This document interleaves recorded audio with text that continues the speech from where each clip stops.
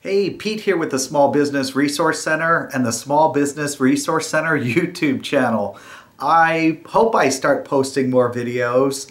Um, mainly, there's a bunch of reasons why I slowed down. I know I mentioned in the comments and messaged a few people who are wondering what happened with my videos.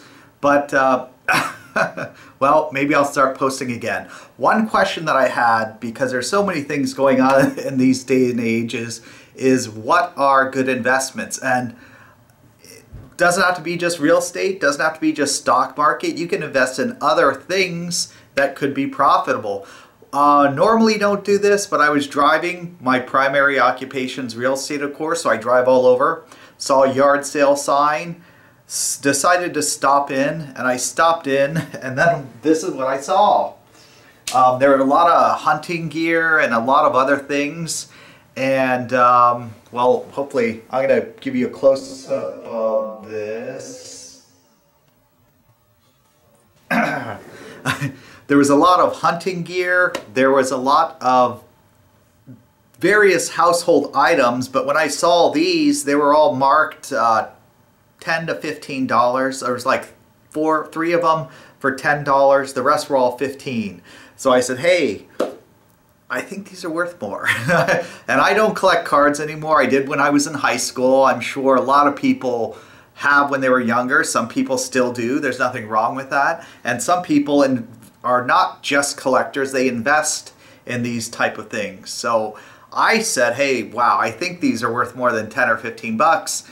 I remember paying more than 10 to 15 dollars for packs of cards when I was young.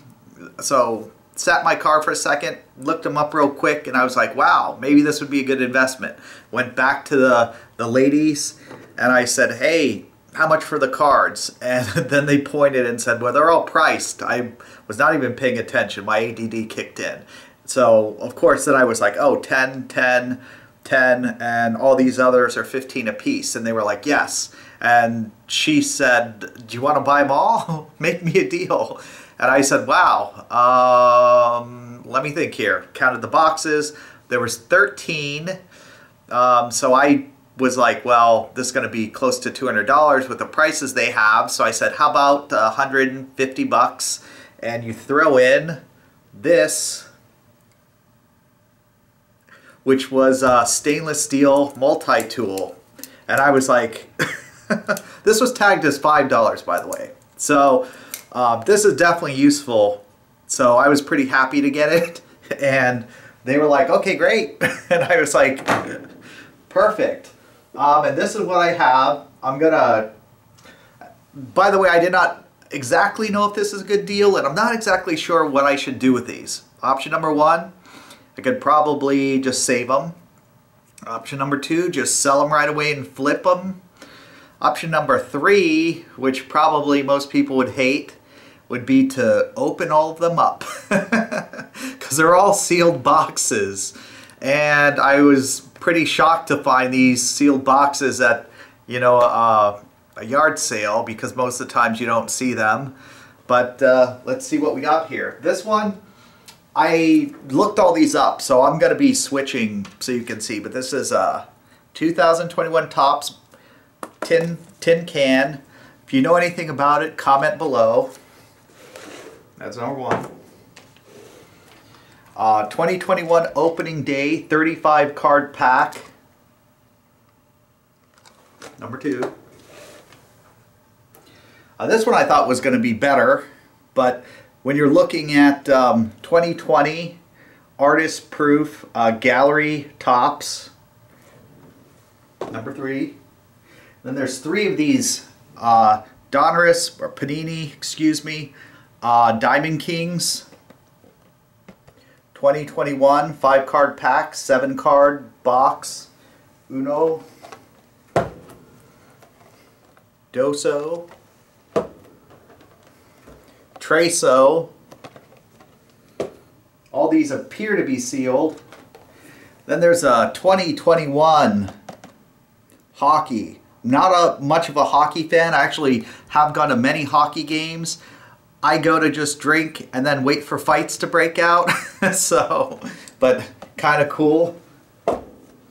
Um, Then we got Series 2, 67 cards per box.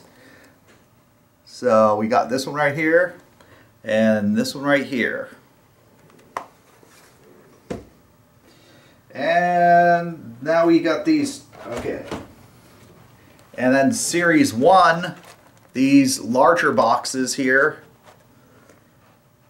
One, two,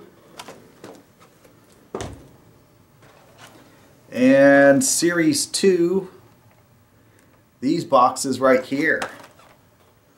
So it says 714 cards plus an anniversary pack. So I was pretty shocked to find all these and to get that deal. I calculated that I could probably resell them for around 350 to maybe 450 depending upon how I priced it. That doesn't include any fees that I might have to charge online unless I post it in some place that's free. Um, so I'm going to show you what I came up with. Hold on one second here. Okay, so the first one I'm looking at is the Topps Series Baseball Sealed Tins 2306 here. Um, I did see some a little bit cheaper, uh, but then somewhere around the $30, so I just selected this one. Now we're looking at the Diamond King Paninis blaster boxes, and they're about 34 piece. Once again, I did see some a little bit cheaper, some more expensive. There are three of those. And then there's a 2020 Topps Gallery Box. They're about $28.99 each. And then the 2021 opening day box, that's about 30 bucks, 29.95. Uh, $5 shipping, of course. And then the 2020 2021 Upper Decks Mega Box, which that apparently is what I have here. It's around 58. I saw some, you know, higher, and then I didn't really see any lower, but I'm sure there probably could be.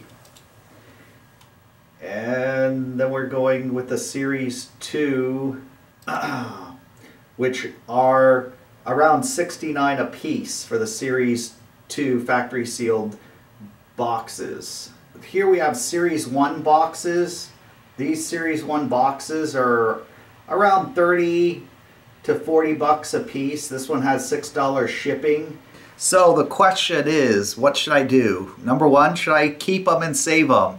Number two, should I sell them and make money? Or number three, should I open them all up and see what's inside?